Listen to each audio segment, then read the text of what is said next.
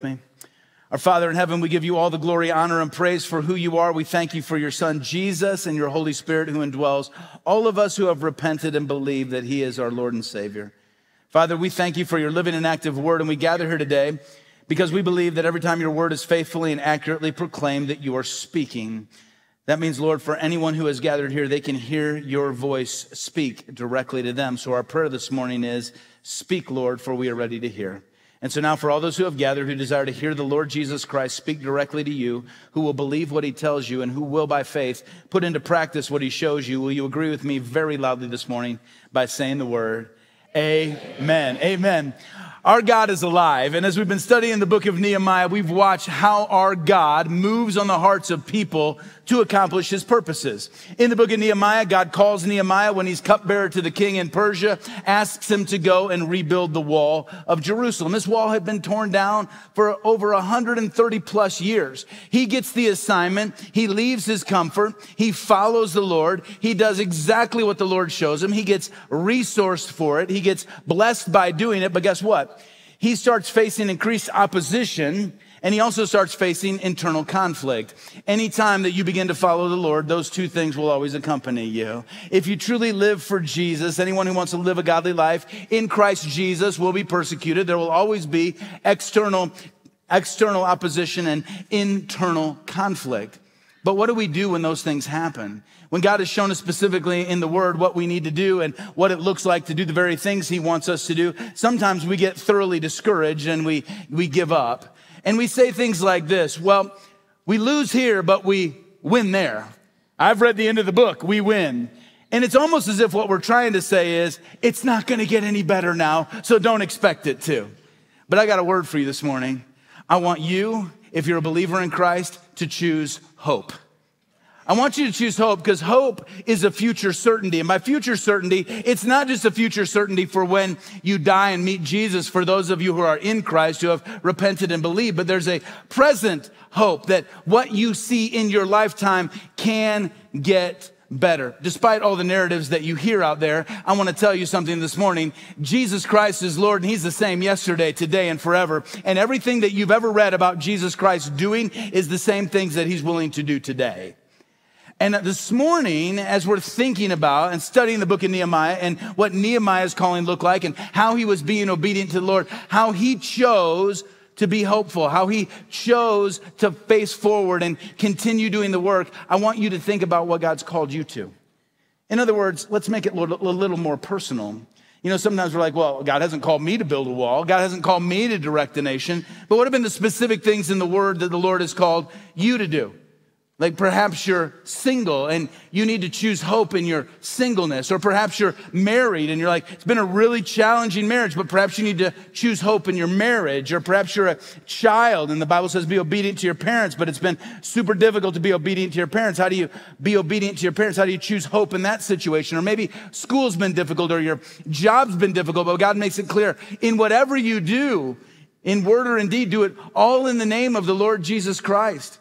I mean, what are the specific ways in which following the Lord that would cause you discouragement do you need to choose hope this morning? And if you're looking for a word of hope, I believe God has a word for you today. I want you to open your Bible up to Nehemiah chapter 6. Nehemiah chapter 6. And as we're beginning this chapter, what we've just come out of is he's faced external opposition and now he's faced internal conflict among the people because they're scared that things aren't going to go well. And here they are ready to get close to finishing this wall. And sometimes when you're close to seeing the fulfillment of God is when the enemy works harder to try to get you to quit. I find that the longer I walk with the Lord and the closer I walk with Him, that the enemy will double down if you're really going to do it God's way. And you'll see all these things come up. And in the middle of it, He's going to give us ways to choose hope. Now, while you're turning to Nehemiah 6, just let me give you some scriptures as a backdrop, we know from Hebrews chapter 11, 1 that faith is the assurance of things what? Hoped for, the evidence of things not seen. Hope is a future confidence that things are going to work out according to God's plan. Proverbs 13, 12 says that hope deferred makes the heart sick, but desire fulfilled is a tree of life. When you're hoping for something and it's not being realized, it's thoroughly discouraging on the inside, isn't it? You're, you're, you're, hoping to get married. You're not married yet, and you've been waiting a long, thoroughly discouraged. You, you've been wanting to have a baby. It hasn't happened yet. You're thoroughly discouraged. You've been wanting to get this job. You're thoroughly discouraged. You've been overlooked on a sports team. You've been overlooked at school. You're thoroughly, hope deferred. I, I really felt like the Lord was leading me this way, and it's not happening that way. Hope deferred makes the heart sick. When you have to wait to see it, it's discouraging, but desire fulfilled. When you see Jesus come through, it's a tree of life. There, there's something about seeing God come through. And let me tell you about God's track record, just so you know. It's 100% faithfulness. It's 100% faith. You don't need to worry if God says it in His Word. He is faithful to His Word, not some of the time, but how much? All the time. Amen? And so, as we're turning to Nehemiah chapter six, I want to talk about how it is you can choose hope because most people think of hope as a, an emotion. Like, I'm not feeling very hopeful right now. I'm not, not feeling like it's gonna, gonna happen. You know, I'm a Rockies fan. I'm just not feeling the hope right now. So it's not a feeling. There's some choices that we need to make in order to experience the hope God wants us to experience. Because for many of us, we, we relegate the gospel to fire insurance. We think that the gospel wrongly is just the idea or notion that God sent his son Jesus. He died on the cross. He rose from the dead. If you just cognitively believe that truth, it doesn't need to affect your life. It doesn't need to change who you are. Just believe that and you'll go to heaven and that's all you need to know. And that's not the gospel. The gospel is that you're a sinner and that because you're a sinner, you're blind to the fact that you're a sinner. Worse than that, you're actually dead, but you can't see that you're dead and you actually think you're alive and you're going to rebel against the very thing that's going to make you alive. But God, in his great love for you, sent his son Jesus to die on the cross for all of your sins. He was buried in a grave. He rose from that grave. And for anyone who would repent, anyone who would turn from their sin and be a follower of Jesus, they could then have eternal life.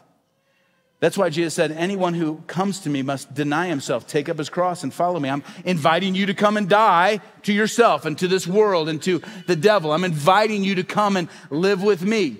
That's what he's saying. And that is the gospel.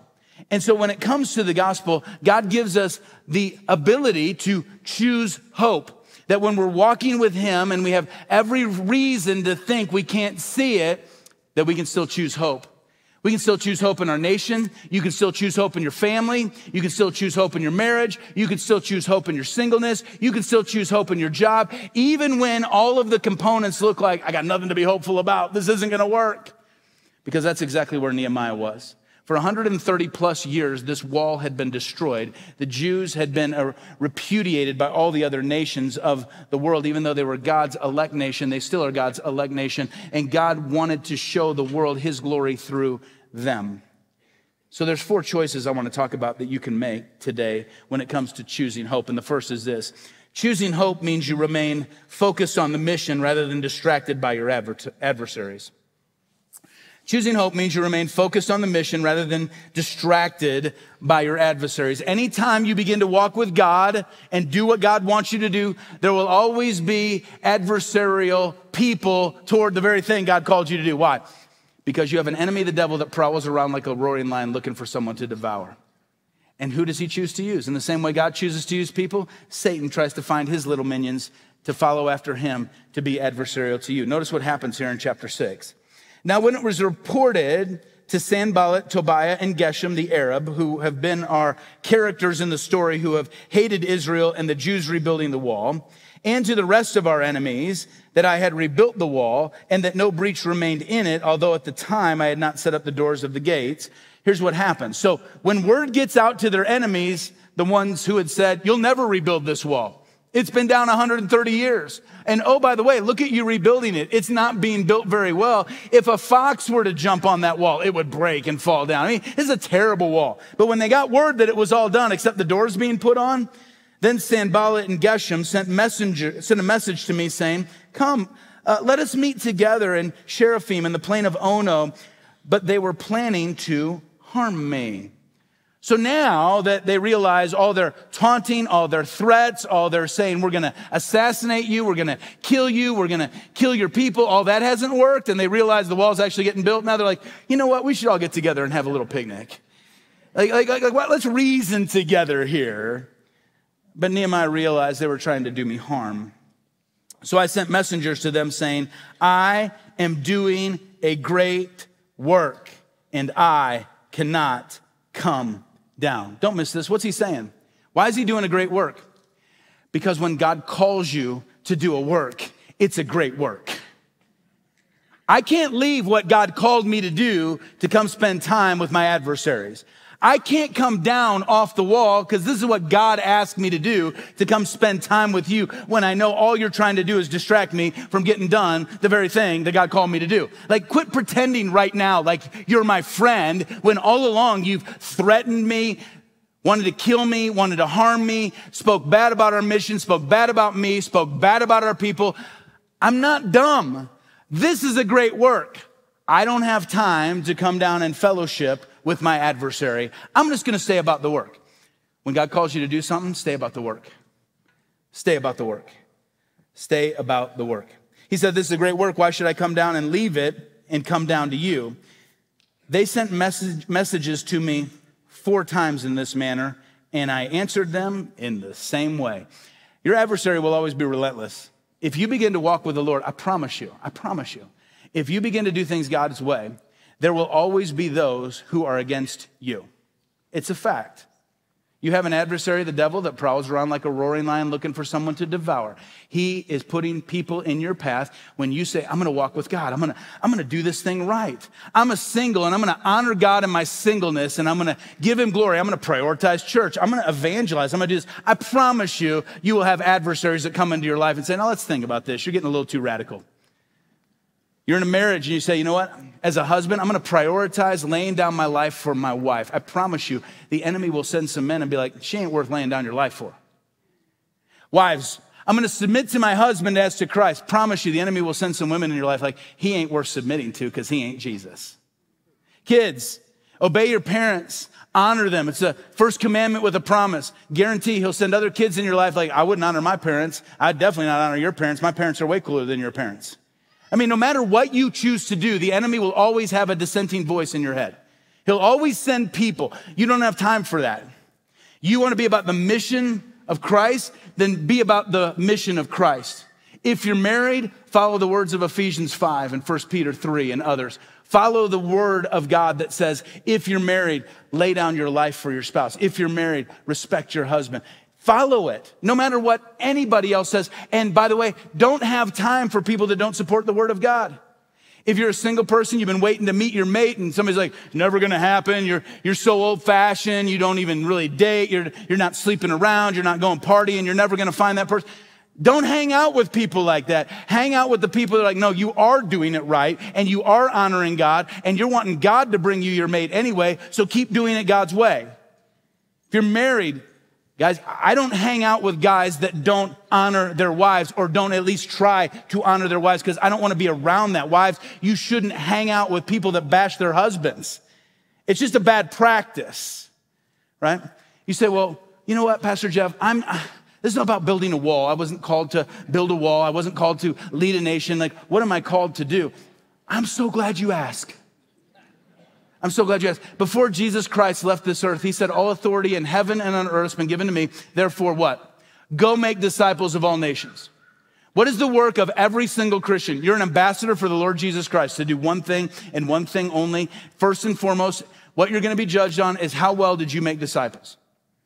Make disciples of all nations. That means you're going to share the gospel. When people get saved, what do you do? You baptize them in the name of the Father, Son, and the Holy Spirit so they can take that step of faith and identify themselves with God. And then what do you do? Then you teach them to obey everything that He commanded you, and He promises to be with you till the end of the age. Well, how long is that going to take? Your lifetime.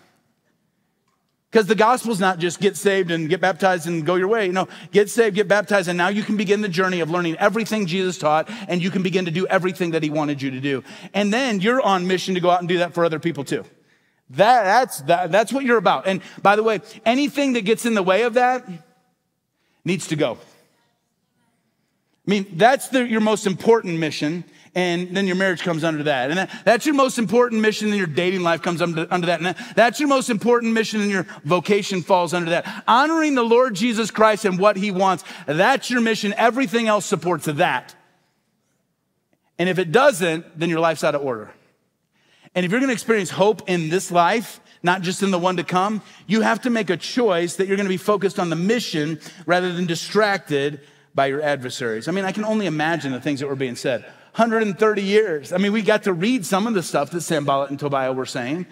I mean, this is miserable. You guys are never going to get this done. It's an exercise in futility. And even if you do get it done, nobody's going to respect you because you're Jews. And nobody likes Jews. Nobody liked them then. Nobody likes them now. But they were God's people then and they're God's people now. So you should love the Jews. That's free of charge.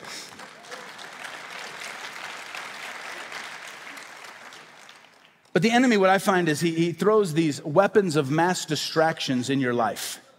I mean, the moment that you decide, I'm doing it God's way, you'll have every opportunity to do it a different way. I don't know how many times somebody says they've been praying about a job. Sometimes it's within the church, sometimes outside the church. Been praying, been praying, been praying. God's opened this door and they begin to step. And as soon as they do it God's way, guess what?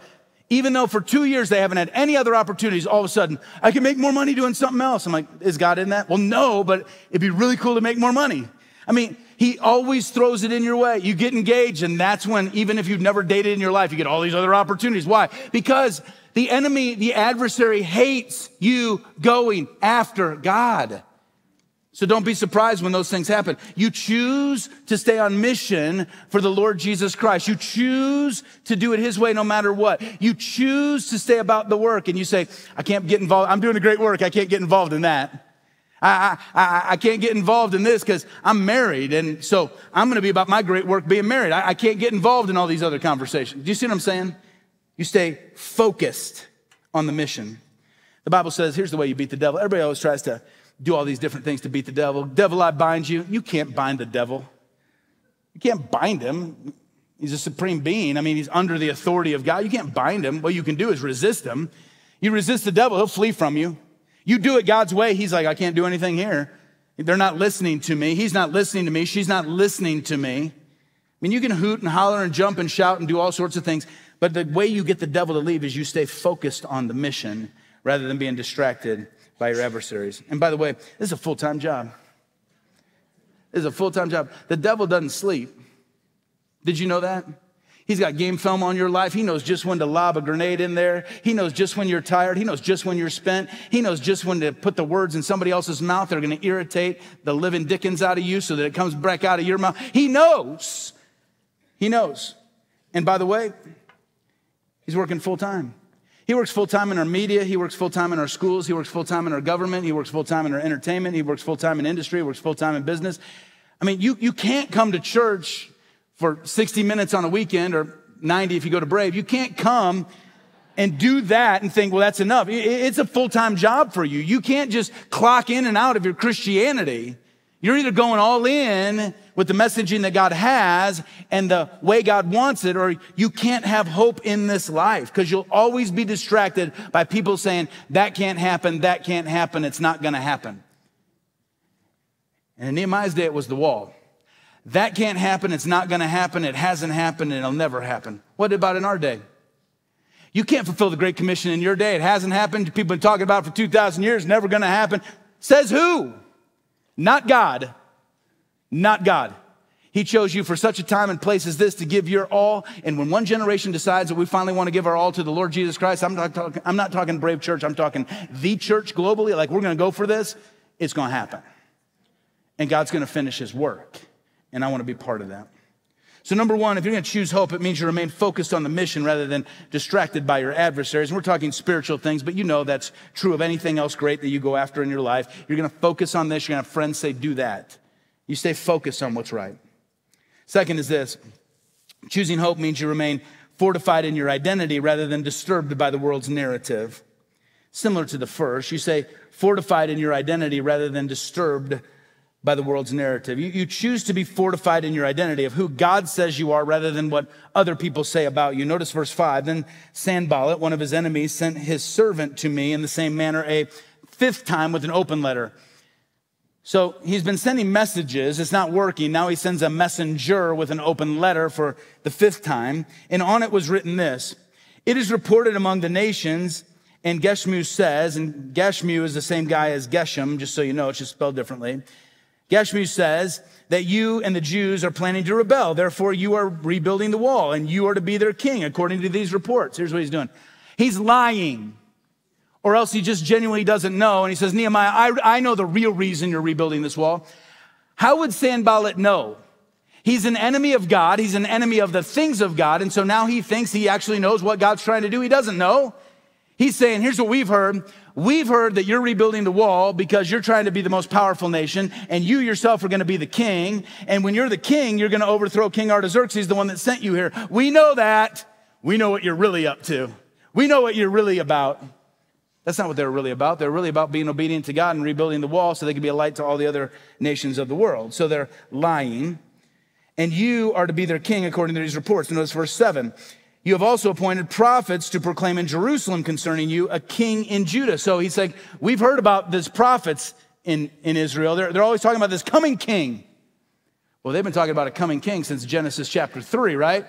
Who's the coming king? It's Jesus coming in the future, but they're getting wind of this in Judah. A coming king is coming. And here's how they interpret that in verse 7. A king is in Judah, and now it will be reported to the king according to these reports. So come now, let us take counsel together. They're saying, that king that's coming, you think that's going to be you. And we're going to tell King Artaxerxes on you. We're going to tell on you. We're going to tell the government on you. The government's going to find out about this. They're going to find out that you have bad intention for the government. They didn't have bad intention for King Artaxerxes. He's the one that sent them and blessed them. So they're making up all this stuff. So they're saying, hey, let's come counsel together. So what does Nehemiah do? Then I sent a message to him saying, Such things as you are saying have not been done, but you are inventing them in your own mind. That's all he said.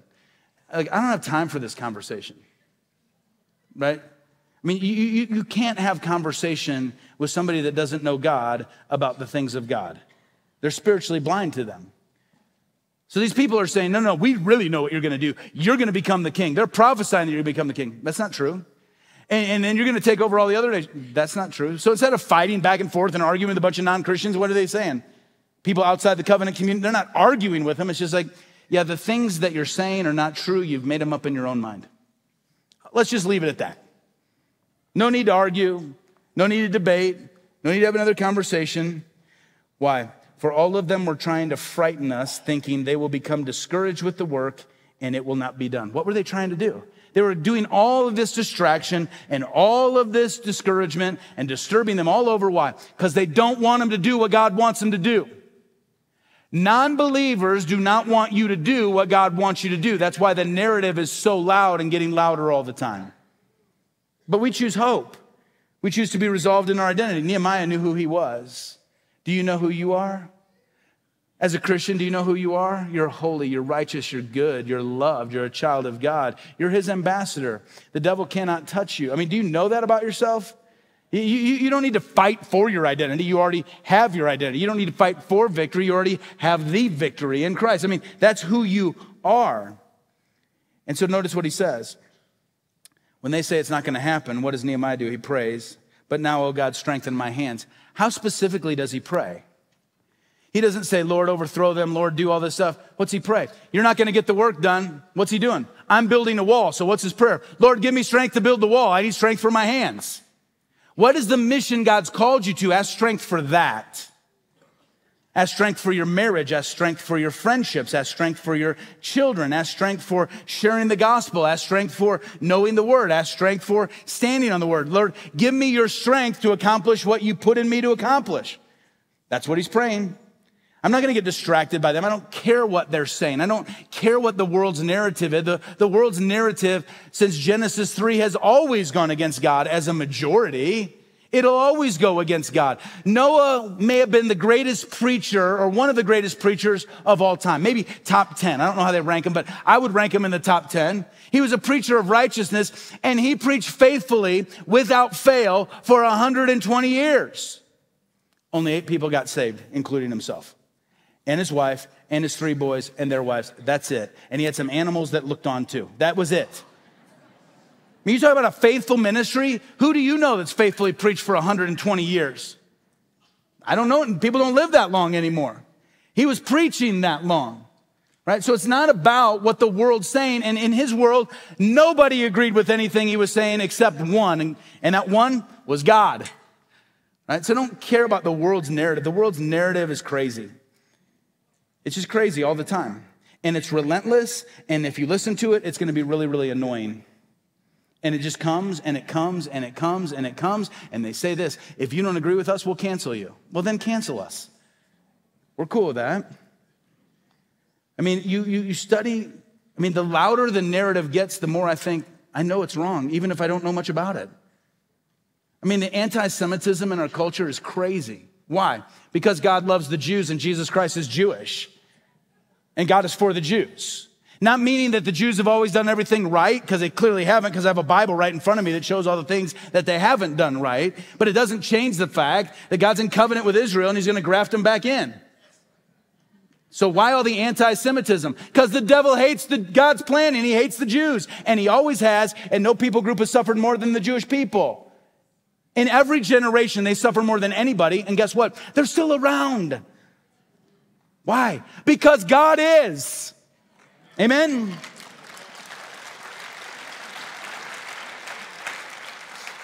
Or just go through the Bible. I mean, if you believe Genesis chapter 1 and 2, you're going to tick off everybody in our culture.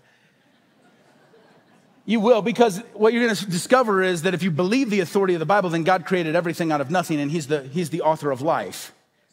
So life started with God. And God created the world in six literal days, and He rested on the seventh. And it doesn't take more than a fifth grade education to read that and understand that's what happened if you believe the Bible to be true. Evolution is not science, evolution is a theology to disprove that God is who He is. Nobody's proved evolution. Ask any evolutionist, well, we came from this protoplasmic ooze billions of years ago. Then, then, then we got, it. okay, then tell me how the cell got started. When did life begin? And there's not one evolutionist that can tell you. Well, something had to happen. Yeah, it did. God said, let there be, and that's what happened. Amen? Or then the race. How many races are there? There's one, according to God. It's called the human race. And people have different skin colors based upon uh, where you live and how, you know, your genetics and all those different things. And so we're, we're all different shades of brown. I mean, I've never met a pure black person. I've never met a pure white person. We're all shades of brown. Why? Because God created the human race from two people. And by the way, there's only two genders, male and female. I mean, if you just believe that, you're going to take off everybody. Right? And they'll lob names at you and, and, and throw stuff at you. Like the, the biggest term out there now is like Christian nationalist. I don't even know what it is. Nobody can define it for me, so I don't know if I am one or not. But when I listen to it, Uh, people are what, what, what, they seem to be pushing back upon is that the, this group of people actually believes the authority of god's word that he's more authoritative than government and he's more authoritative than, than, than schools and he's more authoritative than anyone and you've got to listen to him over everyone else and you know these people actually believe that god should have a say in every part of culture and i'm like if that's what a christian nationalist is that's what a christian is. And if that's the case i'm not a christian nationalist i'm a christian globalist. I want to go into all the world and preach that gospel amen but I don't even know what it is because all they are is just verbal grenades to say, shut up and stop obeying the authority of God's word. We want to be the authority in your life. The government wants to be the authority in your life. We're the authority over your kids. We're the authority over your life. We'll tell you when you can open your church. We'll tell you what you can believe. We're even going to tell you what you can preach and how long your services can be. Oh, no, you won't. Not as long as Jesus Christ is Lord. And the problem that I see is that there's too many people that are choosing not to be fortified in their own identity and are scared to death about it rather than just standing firm in what the Lord says that you are. I mean, just think about it. I mean, if you answer these questions biblically, who are you? Who are you? Well, I'm created by God. I'm fearfully and wonderfully made. My Bible tells me that in Psalm 139 and Genesis 1. He's the one who created me. He's the author of life. Why am I here? Because He placed me here. He gave me the dates and times and places as to when I would live. He chose my birth date. He already knows the day I'm going to die.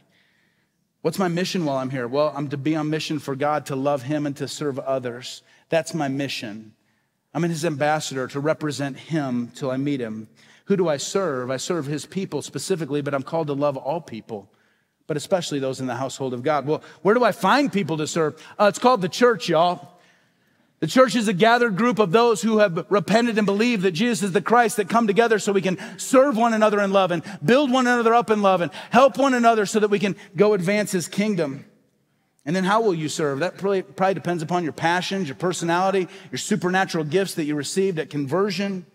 And then how long are you to do that? Well, until you meet Jesus Christ face to face. I mean, that, that's simple. That's, that's why we're here. And yet we, we don't realize that. And so when people tell us, no, you need to figure out what you're good at and then go find a job and then go get married and then go have a family and then go have all this stuff and then build more stuff and then get insurance to protect all your stuff. And then you got a lot of stuff. And then when you get a lot of stuff, you're really going to be miserable, but you'll think you're happy. And then you can go out and speak about how happy you are when you're really miserable. And that's our world. Because the goal of our world is independence. Because then I can be by myself and I don't need anybody. I don't need God and I don't need you. But the Bible is like, no, I'm dependent upon God and I need to serve you because I'll never be more fulfilled than when I'm honoring God and serving other people. So I'm totally interdependent and dependent upon the Lord Jesus Christ. That's the gospel. It's totally opposite. So when you hear things in the world, like if you just start hearing things and the world's saying it and it's not coming out of the Bible, which is 99% of what you hear on media and news and everything else, just listen to what they're saying and you can almost assuredly say, I know it's wrong. I just don't know why. And just go back and read your Bible and you'll see it. Your way, right away. Where's that in the Bible? You, you, you get it your way right away. You get it quick. You get it cheap. You get it easy. It's all about you. Where is that in the Bible?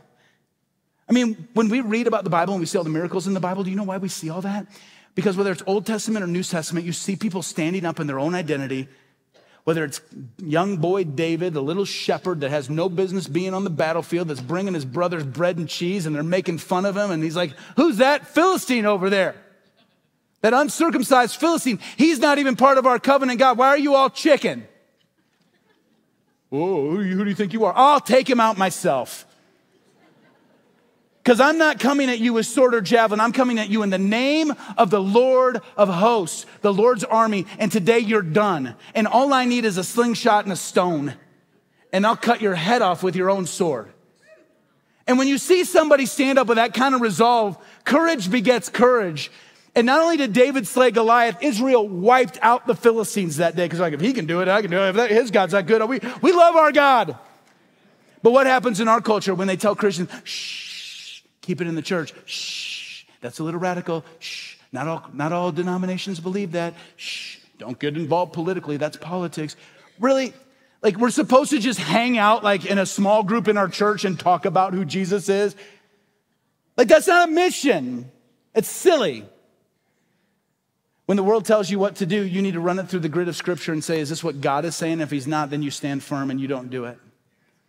Because courage begets courage. Be fortified in your identity rather than being disturbed by the world's narrative. Don't get disturbed by what people say. They don't know God, and that's why they're speaking the way they're speaking. Third is this if you're going to choose hope in this generation, if you're going to choose hope, you must remain firm in God's word rather than deceived to compromise your integrity. Remain firm in God's word rather than deceived to compromise your integrity. Never, ever, ever compromise your integrity. Ever. Ever. This is the lie the enemy will say God forgives. He forgives everything. It doesn't matter. You can do that. It's no big deal. Don't even worry about it. Nobody's going to know. That is him deceiving you to compromise your integrity. Every time you compromise your integrity, you're going to pay a price. Every time. Commit adultery, you'll pay a price. Fornicate, you'll pay a price. Steal at work, you'll pay a price. Well, nobody's going to know. Well, the Bible tells me you can be sure of this that your sin will find you out. And oh, by the way, it's kind of tough to go to the God of the universe who you're asking to bless you when you're not doing the very things he wants you to do and doing just the opposite. So don't compromise your integrity. Notice what happens here in verse 10 after he gets done praying. It says, When I entered the house of Shemaiah, the son of Delaiah, the son of Mehetabel, who was confined at his home, he said, let us meet together in the house of God within the temple, and let us close the doors of the temple, for they are coming to kill you. They are coming to kill you at night. So I don't know who this Shemaiah was, but he probably had some relationship with Nehemiah. And Shemaiah tells him, Hey, come to my house. It's urgent. We got to talk. So this is a guy on the inside. And oh, by the way, when you're doing God's work, He'll always have people on the inside that are supposed friends that will say something contrary to what God's word is saying. You better know what God's word is and what God's called you to do so you can follow God no matter what. So he goes to Shemaiah's house, and here's what Shemaiah says. He's like, Hey, let's go into the temple. Let's shut the door. Here's why they're coming to kill you, man. And I know when they're coming. They're coming tonight. So let's go right now. Let's go into the temple. Let's shut the door. So Nehemiah's got the word. You're going to get killed. Go into the house of the Lord shut the door. There's a problem with this, though. Notice what Nehemiah said. But I said, Should a man like me flee? And could one such as I go into the temple to save his life? I will not go in. I got two problems with what you're saying to me. Number one, what I know about my God is if he's called me to do something, he didn't call me to leave it. So I will stand firm for what God called me to do. If I'm in a marriage, I'm standing firm for my marriage. I ain't leaving it. If God called me to pastor the church, I'm standing firm in it. I'm not leaving it. If God called me to whatever it is, I'm doing it. I will not back down no matter what. Number two, the Bible gives clear instructions in the Pentateuch that he's not allowed to go into the temple and do that. So if he goes into the temple and takes the role of the priest, then all the nation of Israel is going to say, he doesn't believe the word of God. And if he says he does, he certainly doesn't obey it. He's not doing what the word says. So he's going to compromise his own integrity to save his own skin. Never compromise your own integrity to save your own skin. Let me tell you something. You can't control your reputation. You cannot. You cannot control what other people say about you. What other people say about you is none of your business anyway. Right? I mean, people can say about you whatever they want. The only thing you can control is your integrity. And if you fear the Lord, that's what you should care about. You should live in such a way that you know that each and every day when you're getting ready to go to bed, Lord, I did this for you. I live for you. I spoke for you. I wanted to be yours. Where I haven't been right, Lord, I'm confessing that because that's wrong, but I fear you. And, you know, even if people are saying ill and all these kind of things, I'm not going to get involved in it. By the way, did, Jesus have anybody during his ministry that spoke ill of him? I mean, how was his reputation? His reputation was so bad that on the very last day of his life, everybody was yelling, Crucify him! Kill him! Spitting on him, beating him. Reputation wasn't so good. How was his character? How was his integrity? Impeccable. Never sinned, right? That's what God asked us to do. If you're gonna have hope in this world, don't have hope because you're looking at what do other people think of me? What do other people say of me? Don't hold a mirror out to say, what do you, what do you think of me? What, what, what do, you, what do you think I, I should do? I don't know if I should tell you the story, but I, Kenny Hatfield was a coach at Clemson a number of years ago. I was at a FCA banquet. He told this story and he said, you know, there's two different kinds of animals, Mustangs and jackasses. And he said, Mustangs, the way that they stay alive is when their prey comes, they put their heads together and they kick out. He said, jackasses turn their ear out to hear what everybody else is saying and they end up kicking themselves. Don't be a jackass, is what he said. You say, well, why are you saying that on Sunday? Because so many of us act like that. What are you saying about me? What do you think about me? Do you like me? Am I good? Did you tweet me on social media? Did you like what I had to say? Do you care? Who cares what other people think? You should care about what God thinks about you. Amen? Be firm in the word. Don't be deceived. If people are telling you, hey, you can break this law, you can do this, you can bend it here, you can, don't do that. Because notice what he says in verse 12. Then I perceived that surely God had not sent him. How did he know God hadn't sent him? How did he know it wasn't a correct word of prophecy? Because it went against the Bible. It went against the clear teaching of Scripture. When somebody tells you something, regardless of their personality or position, if it goes against the Bible, it's not from God. But he uttered his prophecy against me because why? Because Tobiah and Sanballat, two of his enemies, had hired him. He was hired for this reason that I might become frightened and act accordingly and sin so that they might have an evil report in order that they could reproach me. What was going on? Hey, we're trying to get you to do something wrong because we're going to take pictures of it. We're going to post it on social media. We're going to show everybody else why you don't have any integrity. That's why we're giving you this prophet. I mean, just beware. So what does he do? Oh, he prays again. And I love how he prays this time. Remember, oh my God, Tobiah and Sanballat, according to these works of theirs. You know what we're called to do when people speak ill of us? Here's what the Bible says. It says to love your enemies and pray for those who persecute you. So you're to love them, number one, and then you're to, to pray for them, number two.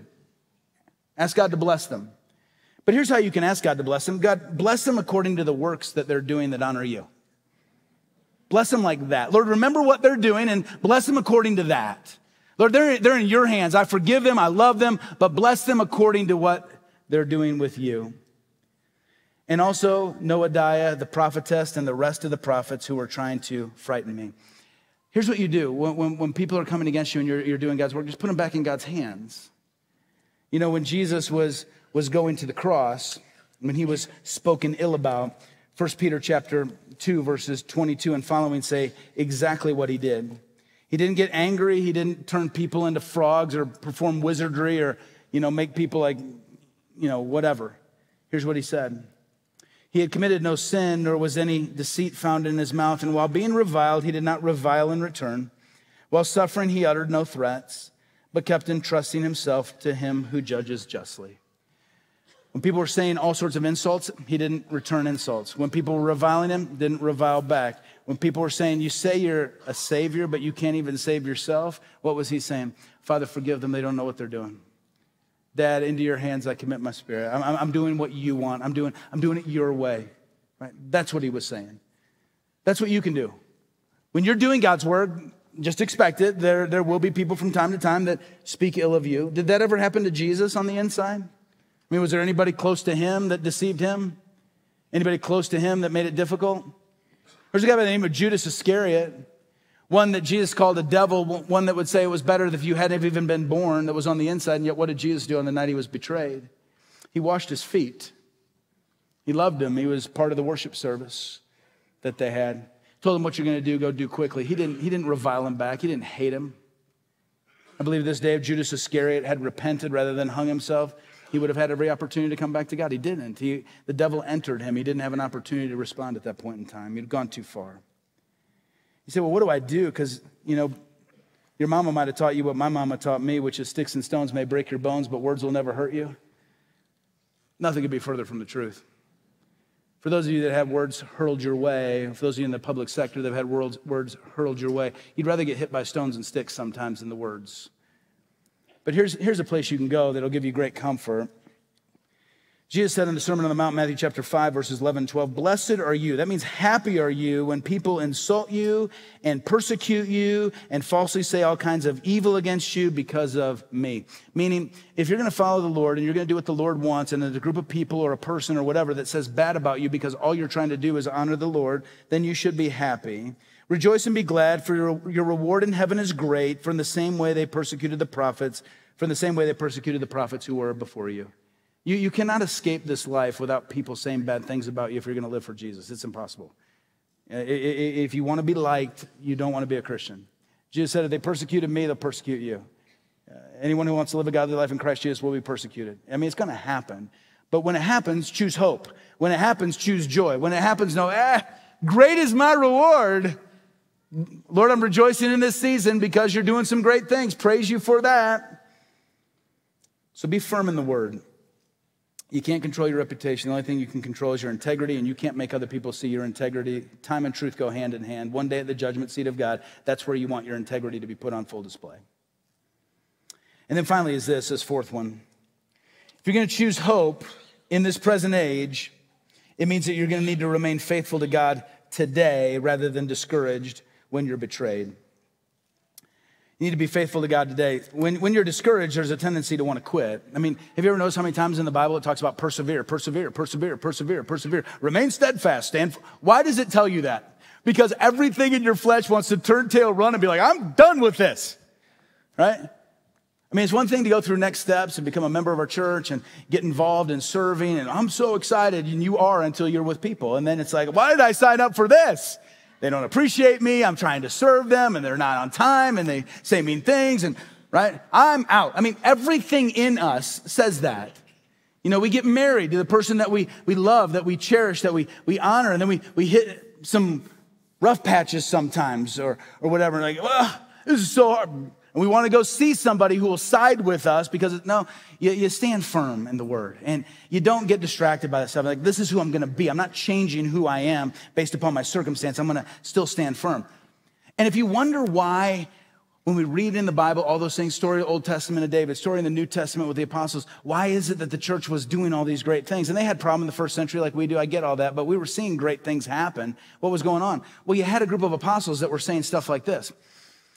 Okay, Jesus Christ is Lord. You can't speak about him anymore. Well, we're going to. So you decide what's right in your own eyes. You want to punish us? You want to beat us? No problem. We're still going to preach. You want to kill us? That's not a problem either because that's the goal of our faith.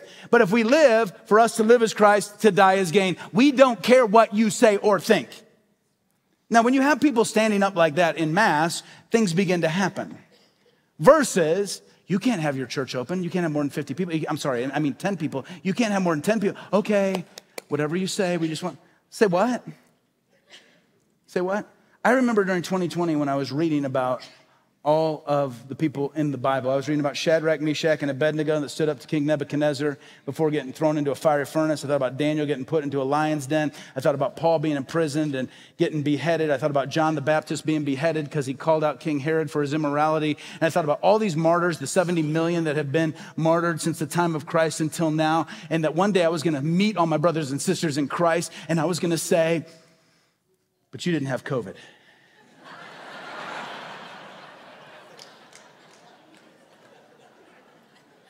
And it pained my heart to watch the church fold like a lawn chair. Because had the church of Jesus Christ said, no, no, no, we love you and you can choose whatever you want to do and we can't do anything about that, but we love our God and we love our people and we will not stop meeting because that's what God invited us and told us we must do and all the more as we see the day approaching, that thing would have ended really fast.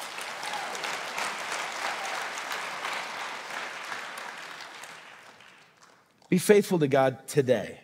Because some of us want to be faithful to God tomorrow. So notice what happens when you're faithful to God today. Now listen to this. Listen, listen, listen.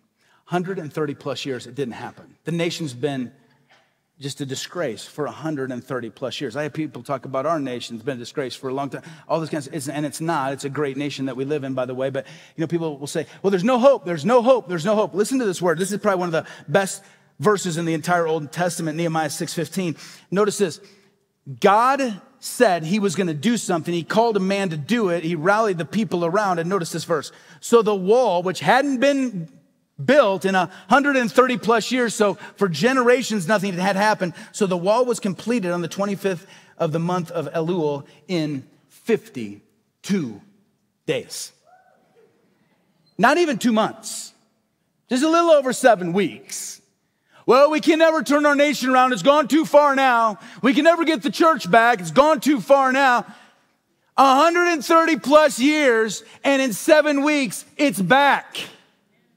What could happen if the church of Jesus Christ stood up and stood firm and stood on the word? I'm not talking about outwardly. I'm not talking about doing anything other than what God calls us to. Love people radically, honor God faithfully, and stand firm on the truth of God's word. What might happen I believe God can turn his church around. I believe God can turn a nation around. I believe God can do everything that we read about in his Bible. And instead of wallowing in our tears, like, oh, it's so bad, and look at my kids, what they're into today. And it's different because when I was growing up, people were like, our kids listen to Guns N' Roses and ACDC. It's so bad.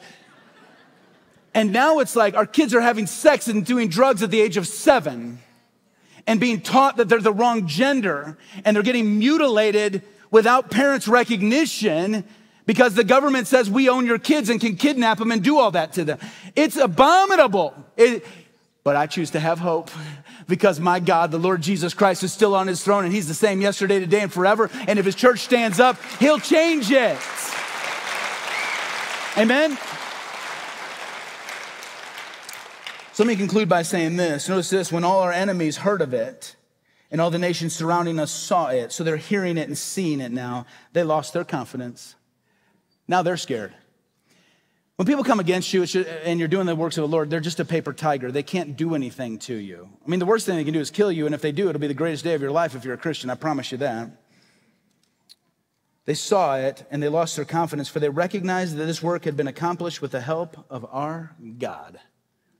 We don't know your God, but your God did this because there's no way y'all could do it. That's what they saw. Now, in these last three verses, he's going to give an account of what this era was like. Now, listen to this. This is really important. This is really important. Also, in those days, many letters from the nobles of Judah to Tobiah, and Tobiah's letters came to them. Read again. Also, in those days, many letters went from the nobles of Judah to Tobiah, and Tobiah's letters to them. Tobiah, Tobiah is the enemy. Tobiah's been yelling at them, threatening them, threatening to kill them, knock them down. But guess what? While all that's going on, there's leaders in Judah that are corresponding with Tobiah. Nehemiah's like, I ain't coming off the wall, but some of his leaders are corresponding with him. And notice what's going on. Why is this? For many in Judah were bound by oath to him because he was the son-in-law of Shechaniah, the son of Arah, and his son Jehohanan had married the daughter of Meshullam, the son of Berechiah. What happened? His son married a Jew. So Tobiah's father in law and daughter in law were Jewish. And so he was using that relationship to get in. And even though he didn't want anything to do with the things of God, he was using his personality and his position and his perspectives to let people know he was kind of a good guy and he was for them, but not really, even though he was trying to destroy everything that they were doing. Moreover, they were speaking about his good deeds in my presence and reported my words to him. So not only were they getting together, the nobles were like, this Tobiah guy's actually pretty good. He's, he's kind of a good guy. And Nehemiah's like, I'm not coming off the wall. He's not a good guy. And then they're going and telling him that. So there was this internal thing that was going on. Why? Because the devil always uses any kind of deception and lies to start that truth. And then Tobiah sent letters to frighten me. That was the era that was going on. Here's what I'd say when you follow a leader, follow somebody that has a long spiritual track record of fearing the Lord that goes after God. Follow somebody that you've seen have integrity over and over. Now, you won't find anybody other than Jesus that's perfect. Trust me. Find somebody that's willing to say I was wrong. Find somebody that's willing to say I was sorry, but find somebody that has that track record. Because if all you do is sympathize with people that have personality, position, and perspectives, they're like, well, this person's a leader, this person's this, and they said that. And they, don't follow people unless they have a long track record of being obedient to the Lord. Because Tobiah, you're going to read, read in chapter 13, he ain't a good guy, but he was posing as one. And the enemy always puts people who pose around the works of God so that people that are doing the work of God, well, you should listen to this guy's perspective. You should listen to her perspective. They have some. No, this is God's perspective because the word declares that we're going to do this. And if they don't want to do that, they need to move on to what they need to do. And that's okay. And here's how you know. You know because God spoke it. So be faithful to God today. Don't, don't wait and say, well, you know, maybe one day God can do something. God can do it now. God can do it with us. God can do it in our generation. He, we, by the way, the, the hope for the whole world is the local church. I'm not talking brave, I'm talking all local churches that are centered upon the same Lord Jesus Christ as we are. Amen? That's the hope. And if all the churches stand up, and I've gotten to meet more and more pastors across the country now that are standing up, and the more and more we do that, the more and more we're going to see the hope of Jesus, and we're all part of this.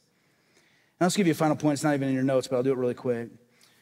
But the ultimate way you choose hope, it means repenting and believing the gospel. Our hope is built on nothing less than Jesus' blood and righteousness. If you really want to have hope in this life and in the life to come, let Jesus Christ be the Lord of your life. He's already Lord. He, he, he is all that. So it's not like I'm going to make him Lord. He's Lord. You don't make him anything. It means I'm going to repent and believe that he's Lord. I'm going to allow him to be Lord of my life. And what you're about ready to hear in these baptism testimonies on all our campuses are people who were once dead and who are now alive. Nothing that they did on their own accord. It was Jesus Christ that saved them. They were in the kingdom of darkness, and now they're in the kingdom of God's beloved Son by no work of their own, but by the grace of God. And if you're here today, maybe you're here today and say, you know what, I don't know anything about religion, I don't know anything, I would say, it's cool. You don't need to know anything about religion. Here's what you need to know that God loved you so much that he sent his son Jesus to die for all your sins. And you can be completely forgiven and completely washed of all your sins. And you don't need to carry around guilt and shame anymore. Anything you've done, he took care of on the cross when he said, It is finished. I paid for it in full. He died on the cross. He rose from the dead. If you'll turn from your sins and turn to Christ, He will save you in this very moment. I'm going to pray, and then I'll have you watch this short little video. And then on all our campuses, those that are getting baptized will be up, and we're going to have a special moment. Father in heaven, we just give you praise, glory, and honor for who you are. And Lord, I just ask here this morning if anyone wants to give their life to Christ, that they would. Lord, that they would be willing to repent and say, I'm a sinner. I know I am. I know I'm dead. But this morning I realize that Jesus Christ is Lord. Lord, I confess you as my Savior. I confess you as my Lord. Come into my life and let me walk with you. Father, we pray during these baptism testimonies and during this time of baptism, it be an awesome celebration of who you are. And as we watch this video, prepare our hearts for all you're going to do. In Jesus' name, amen. Amen.